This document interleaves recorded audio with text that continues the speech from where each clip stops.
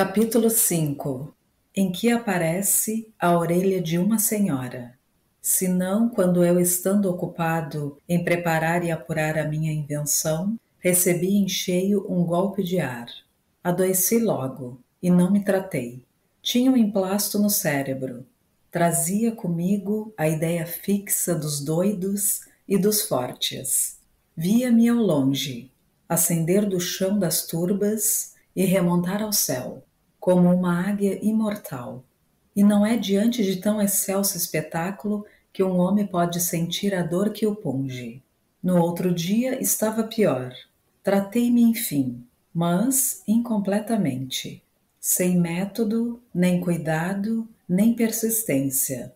Tal foi a origem do mal que me trouxe à eternidade. Sabem já que morri numa sexta-feira, dia aziago, e creio haver provado que foi a minha invenção que me matou. Há demonstrações menos lúcidas e não menos triunfantes.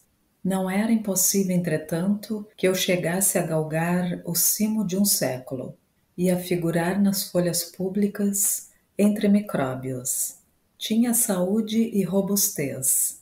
Suponha-se que, em vez de estar lançando os alicerces de uma invenção farmacêutica, tratava de coligir os elementos de uma instituição política ou de uma reforma religiosa.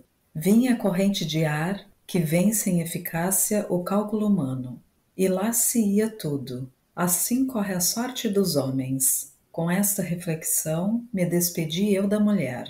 Não direi mais discreta, mas com certeza mais formosa entre as contemporâneas suas.